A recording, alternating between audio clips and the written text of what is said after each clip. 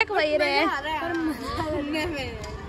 झाड़ू पोछा करने के बाद भी ऐसे घूमते मैं कुछ नहीं करती मैं लेजी ये हूँ वो हूँ। तो जस्ट मार्केट में लाया छोले भटूरा खाया डेविड अब मेरे को कुछ खिला ही नहीं रहा। डालते ये भी नहीं कर सकती ये वो भी नहीं कर सकती much so hey guys once again welcome back to our channel जिसका नाम है David Life and I hope आप अच्छे होंगे मस्त होंगे चकास होंगे। सो so, जिसने अभी हमारा लास्ट व्लॉग नहीं देखा है, जो कि वेत वन पार्क का था। जाइए उसे देखिए। वो काफ़ी अच्छा ब्लॉग है। पता नहीं उस ब्लॉग को सपोर्ट क्यों नहीं कर रहे हैं। इंडिया का पहला पार्क ऐसा है, जो कि हमने उसको एक्सप्लोर किया है। और उसी ब्लॉग में हमने बताया था, इसके बाद हम जाएँगे मंगल बाज़ार, जो कि एक मतलब सौ सेक्टर का था। हाँ है ना? सेक्टर सौ का था। और एंड तक ज़रूर देखना, कुछ हमारी ऐसी बात हुई है, कनिका और मेरी, सालू, ऋषु की कुछ ऐसी बात हुई है, जो कि एंड में ही है, वो आप लोग सब देखना और बताना कमेंट में आपने क्या देखा, क्या सुना और आपको क्या समझ आया। सब्सक्राइब करो बेल आइकन को प्रेस करो कमेंट करते जाओ और वीडियो को फुल देखो। ठीक है? अभी अब यहाँ आए हैं हम। बाज़ार पर ये मंगल बाज़ार क्या कहते हैं सेक्टर थर्टी वन निठारी का नहीं है। ये हम यहाँ से क्रॉस कर रहे थे। तो ये सेक्टर पड़ जाता कौन सा सेक्टर पड़ जाता है ये? ये कौन सेक्टर है सेक्टर कौन सा हाँ? सौ ही पड़ता है वैसे तो। तो सेक्टर सौ का ये मार्केट है और ये मार्केट भी काफ़ी अच्छा है तो मैं आप लोग को दिखाऊँगी आगे जैसा भी है। फ़िलहाल डेविड जो है अभी उसने छोले भटूरे के लिए बोला है क्योंकि भूख लग रही थी तो डेविड खाएगा और मैं देख लूँगी कुछ जूस वूस होगा तो फ्रेश जूस पी लूँगी। है ना डेविड? गरम गरम है।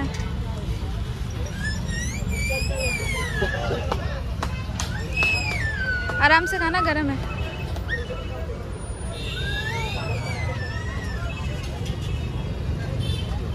अच्छा है? एक नंबर। चलो अच्छा है। यहाँ जो होते हैं ना वैसे जनरल में तो जो स्ट्रीट फ़ूड होते हैं ना रेस्टोरेंट से काफ़ी सो so, मार्केट कुछ ऐसा है। अच्छा लग रहा है वैसे मार्केट है ना? ज़्यादा भीड़ भी नहीं है। ज़्यादा अच्छा क्लीन है। हाँ क्लीन भी है और उतनी भीड़ भी नहीं है कि पब्लिक चल भी ना पाए है ना? हमारे तो, तो बहुत भीड़ होती है यार। हाँ ये भी मंगल बाज़ार है क्योंकि आज मंगल और ये भी बाज़ार है। बस तुम्हारा थर्टी वन वाला नहीं है ना? तो फ़िलहाल अभी अपने पापा को फ़ोन किया था पूछा था कुछ चाहिए नहीं चाहिए तो उन्होंने वैसे तो मना कर दिया बस एक बकेट लाने के लिए कहा है जो कि पौधे वाला बकेट होता है वो।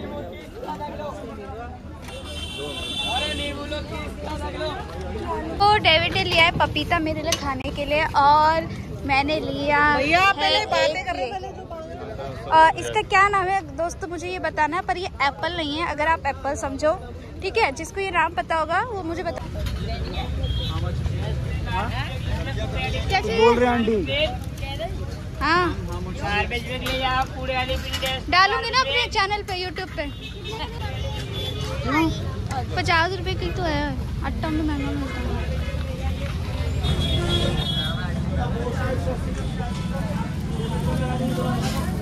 ले लिया तेरे छोटे छोटे हाथ होगा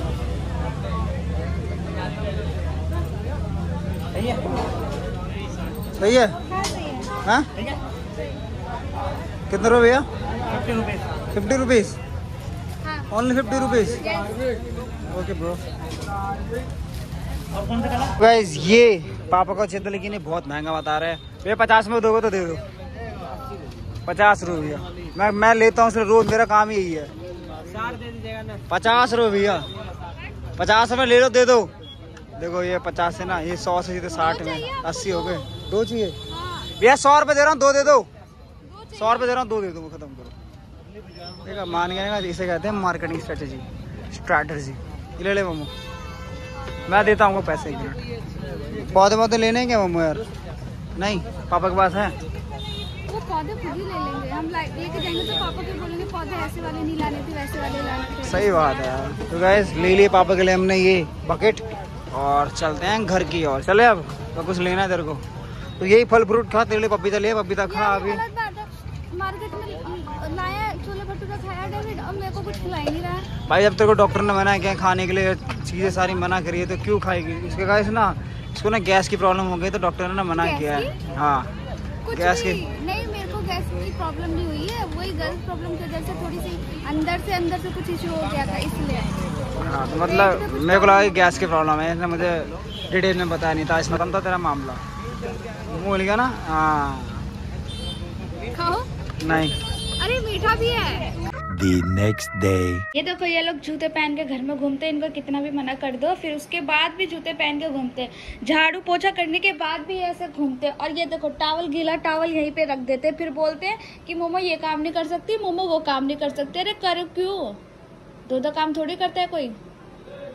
जितना भी इन्हें समझा लो ना, इनके जूते अंदर ही बनेंगे, अंदर ही घूमते रहेंगे वहाँ वहाँ पूरे किचन में घूमते रहेंगे महाराज। दोनों भाई।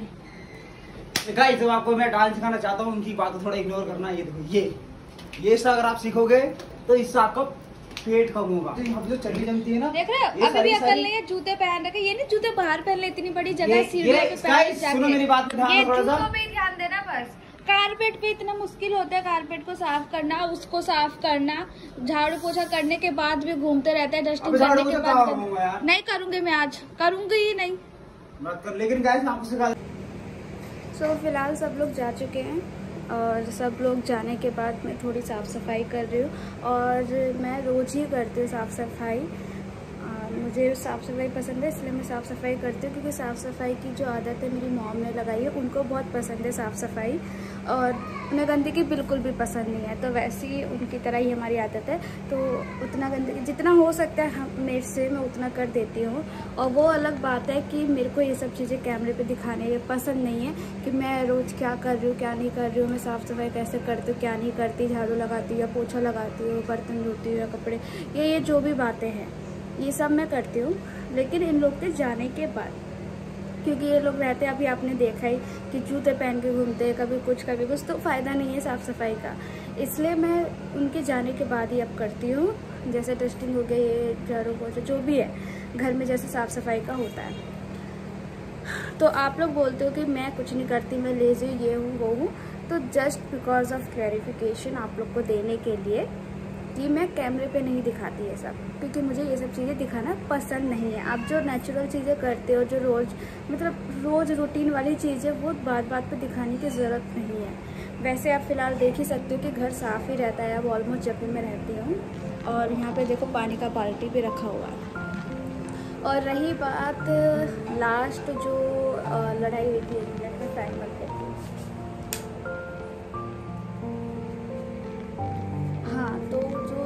लास्ट लड़ाई हुई थी डेविड की और मेरी। अ, एक हाँ एक कमेंट आया था कि ज़रूरी नहीं है ऑल द टाइम मूड ठीक हो नहीं हो ऐसी ऐसा है।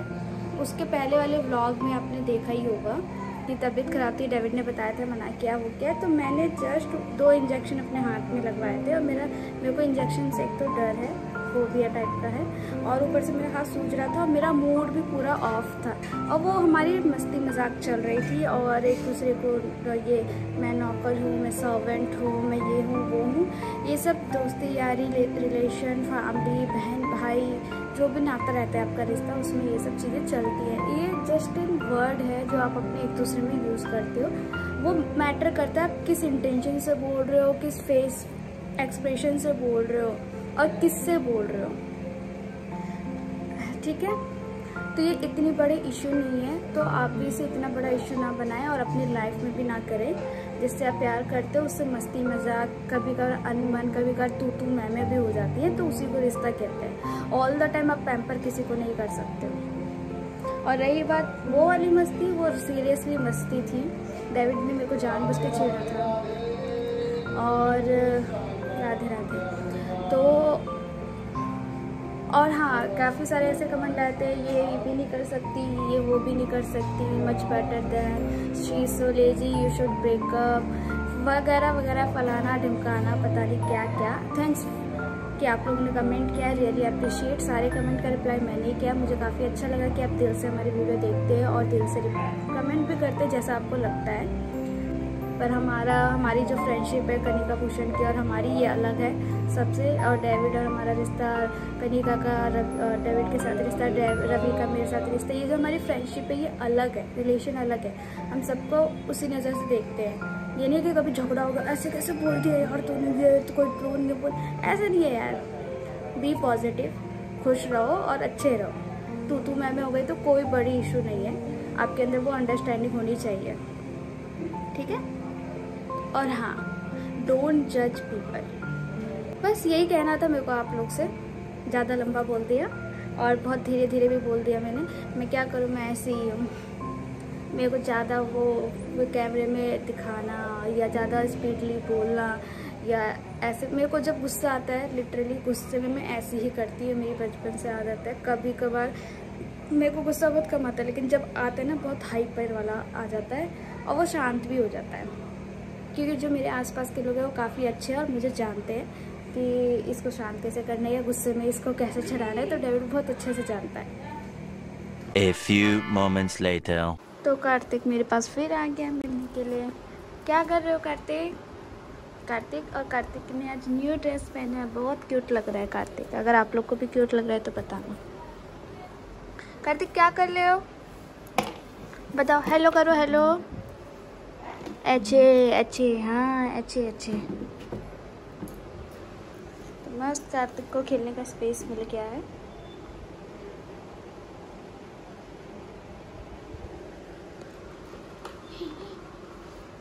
ही ही ओ नो Four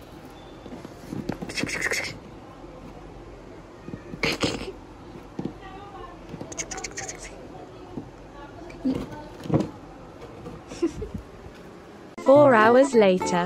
मौसम बहुत पीला पीला हो रहा है। वैसे तो ऐसे देखने में पता नहीं चलेगा क्योंकि फ़ोन में ब्राइटनेस अलग हो जाती है।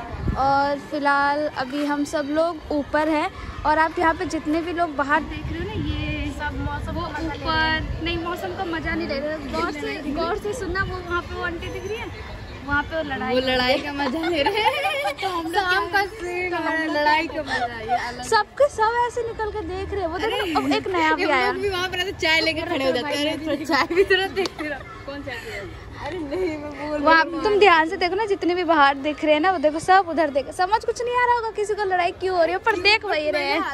सुनने में। को लग रहा है अपने छत पे चढ़ गए हाँ। इंडियन कल्चर है ऐसे ही होता रहता है। और डेविड घर पे आ चुका है और डेविड बना रहा है आज अपनी स्पेशल दाल। और ये दाल की जो रेसिपी है वो आपको फिर कभी मिलेगी है ना? तो आज का वीडियो यहीं पे एंड करते हैं ठीक? Yes thank you so much for watching my blog guys please यार आप लोगों से ना बहुत ज़्यादा उम्मीदें रखता हूँ मैं कि आप लोग मुझे प्यार दोगे चैनल को ग्रो कराओगे मेरी मदद करोगे। तो प्लीज़ थोड़ा सा आप लोगों को प्यार चाहिए और कुछ नहीं चाहिए। नीचे ना सब्सक्राइब लिखा हुआ था रेड कलर में उसको क्लिक करना और ऐसे करके ना एक पिक्चर आती है उस पर क्लिक कर देना और कुछ नहीं करना। बस guys please support me and अपना प्यार देते रहो। हाँ और इंस्टाग्राम का नाम आ रहा है मोहम्मद डेविड जाइए फॉलो कीजिए और खूब सारा प्यार दीजिए। Bye bye